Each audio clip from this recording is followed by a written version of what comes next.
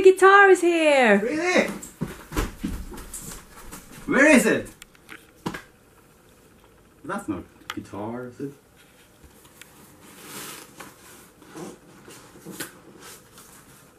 Ah, it's an IKEA guitar! Awesome! Because we're Swedish. Yeah, because we're Swedish and we're from IKEA land. Instruction manuals? Don't need those, do we? Ah, it's a guitar! Hey, this is Swedish Guitar Nerd and today I'm gonna open a box uh, of guitar parts.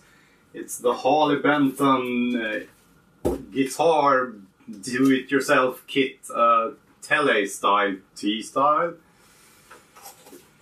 So let's see what's in the package. We got two building instructions, one in German and one in English. Whichever you prefer. Okay, wonder what this is.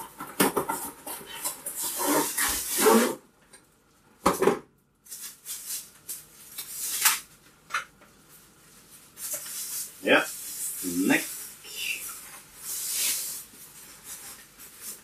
And uh, contrary to what they say on the webpage at the moment, they probably change it soon. Uh, the T style and the S style guitars now have Roseacer fretboards. And yeah. I don't know if you can see this, but it's not super even. Uh, the back feels really nice. I don't think you need any more like finish or anything. I won't any anyhow. Uh, yeah, you can feel the fret ends. The frets probably need some polishing, but it's nothing special. Um, yeah, it's not super nice here. It's again, can you see this? I don't know if that's visible to you. It's, it's kind of rough. So yeah, but yeah, feels nice. I don't know if these frets are smaller than the usual ones. Look kind of small to me, but that's the way a Tele style guitar should be. Uh, the edges are actually rolled on this one. You can tell that someone has gone over the the edges of the fretboard, not the. Yeah, maybe, maybe the frets themselves as well. But you can actually see that it, there's like it goes in like between the frets. So that's a nice touch. Okay, what next? Yeah, let's do a quick one.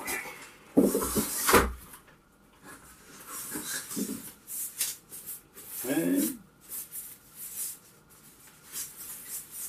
So yeah, the neck was maple um, with a Roseacer, that's a treated maple fretboard. And then we have a basswood body. It's super light. It weighs nothing. And that's a good thing, I think.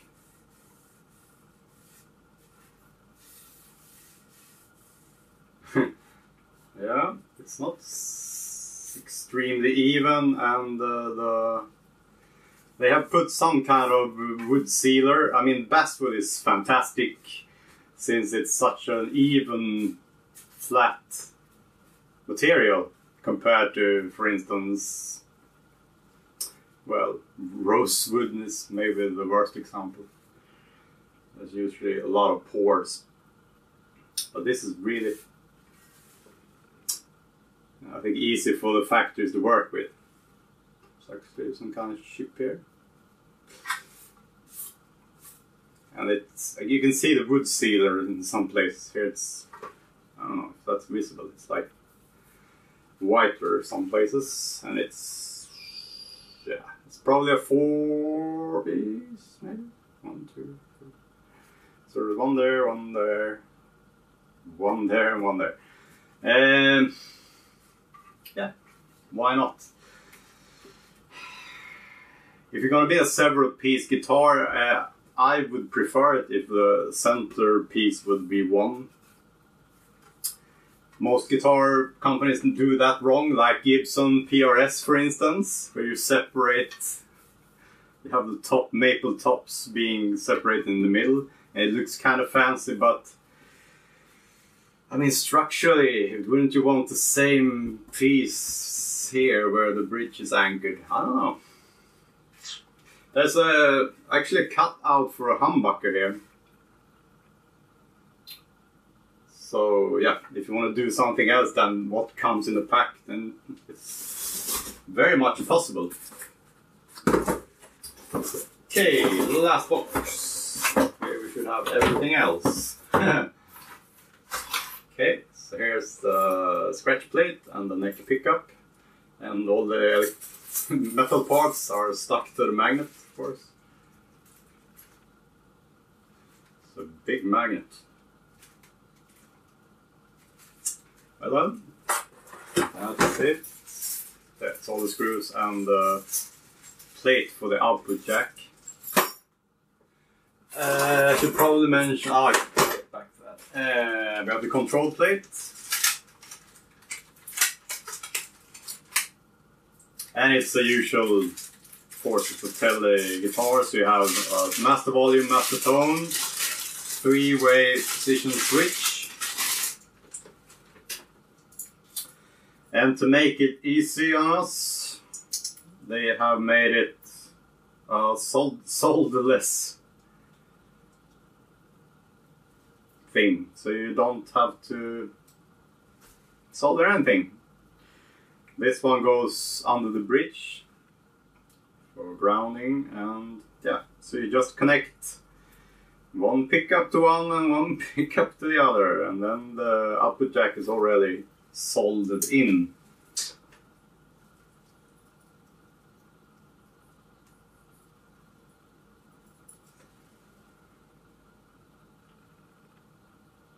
Yeah.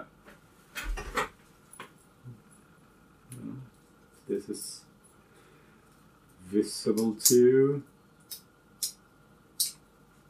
Yeah.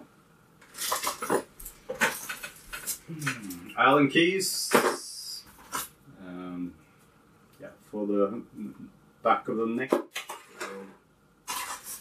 We have uh, the tuning keys.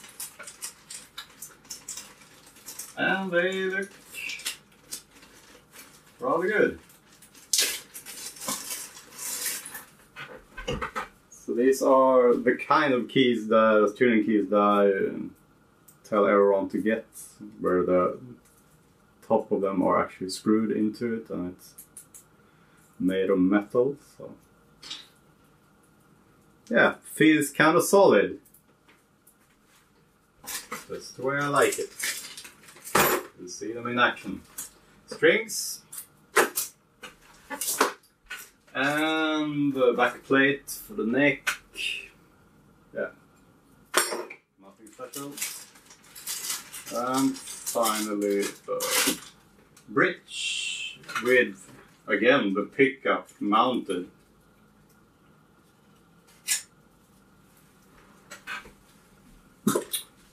Comes like this. And this is the top mounted guitar, so top string guitar, it doesn't go through the body. And that's not a bad design, I like that. Uh, the pickup isn't really... Can you see this? Can you can see my finger through here? It's not really centered in the cutout. And it, actually it's... Can you see It's on top of the bridge here. So you can almost tell here because all the screws are pointing in that direction. So yeah, we'll see how we can adjust this if it's possible. Maybe that's a maybe it's made to be like this because then the pickup stays in place. Who knows? So that's it. Uh, see you soon for the building and trying out process. And uh, well, this will be a project, so it will probably take a year before I'm finished, and that would change it all again.